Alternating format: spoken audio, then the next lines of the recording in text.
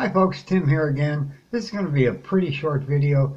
Today I'm going to go over the three smartphones in the budget range that I think, for the buck, best bang for the buck phones. We're going to go from a high-end limit of 300, which is really pushing what most people would consider budget. There's a reason for that. We'll get to that when we get to the three phones. You'll see the specs on that $300 one are pretty awesome. And then the other two are very, very good phones for the price. And I'll show you some links on the screen uh, where you can find all the specs and they'll be in the comments below. Make sure to leave a comment and at the very end of this video there's going to be a question. And it's an important question as it relates to this video directly. Uh, and if anyone has an answer, leave it in the comments. I read them all. I don't get that many comments, folks. I mean, we have, what, 200 subscribers roughly? So, hopefully, if you're on the fence or still looking, this will point you in the general direction and will show you what you can get at a super low price. And now I've almost talked too much, so we're going to ask the uh, guy over here to cue the intro and let's get to it.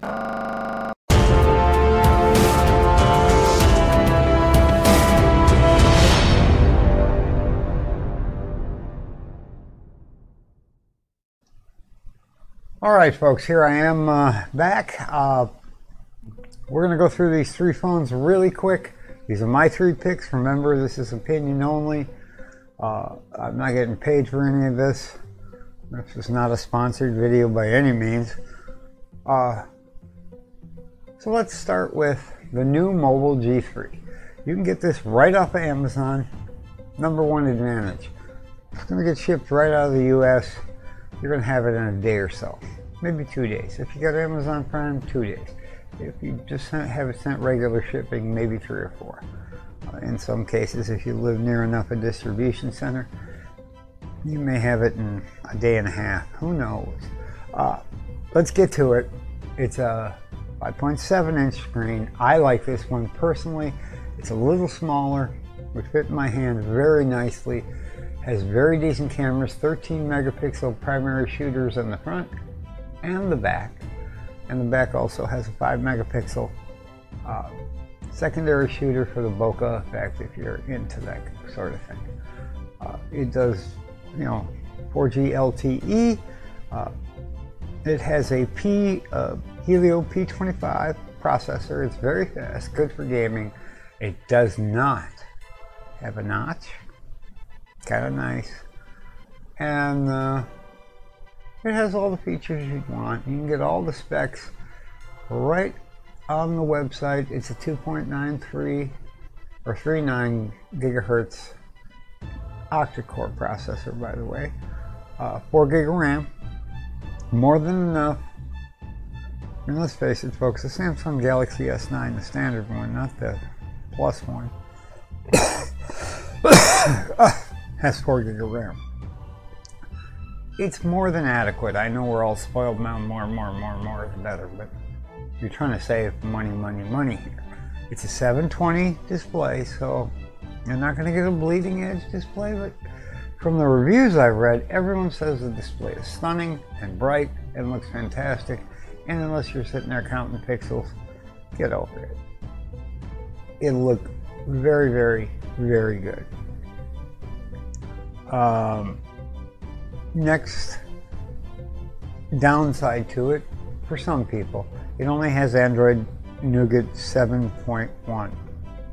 I, it might be 7.1.1 uh, off the top of my head. I've forgotten, but it, that'll still offer you the split screen functionality. It's a very snappy phone. Uh, you can go and look on YouTube left and right and find a ton of reviews. A lot of people like this phone, especially at the price tag of $199.99. That's steal, folks.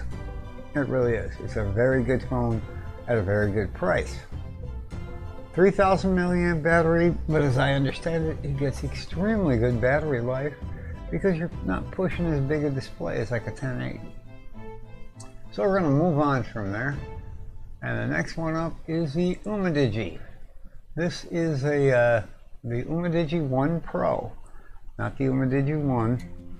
It's got the Helio P23, so it's a little slower processor, but it does have a 5.9 inch uh, full HD, well, once again, it's still 720. Uh, I believe. Yeah, it is. And uh, it has a couple advantages. It's got uh, the uh, wireless charging that the Nuu doesn't have. And it has dual stereo speakers. Both the Nuu and this have NFC, so you can you know just touch your phone if you've got Android Pay to the gizmo, so you can just pay that way. Uh, it's a great phone so far. It's got some decent reviews. The fingerprint reader is on the side, while on the Nuu it's on the standard back portion. It also has a face unlock. Uh, good phone, uh, great price. Let's show you the prices I found on it. Right now, for the next two days, you can go to GearBest. 169 bucks. Yes, it has the notch. If you want to go notchless, the, only the first one I talked about is notchless. Uh, it's a little bit bigger phone though, but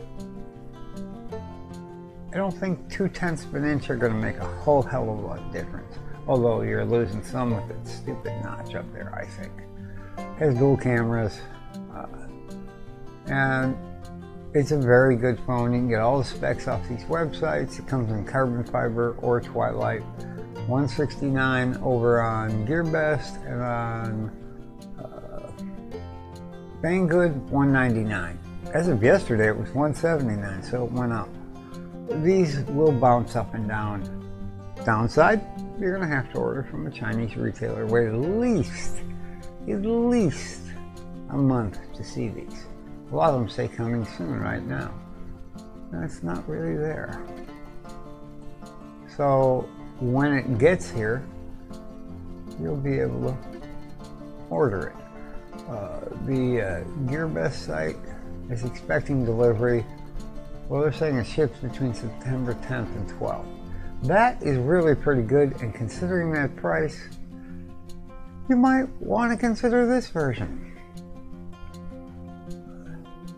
Uh,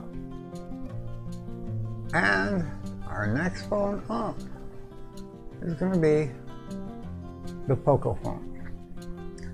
It, it's currently only available in India, and they call it the Poco F1. And the reviewers in North America and Europe who've gotten one, it's called the Pocophone F1. It's made by Xiaomi, uh, and it's not currently been released to the rest of the world yet.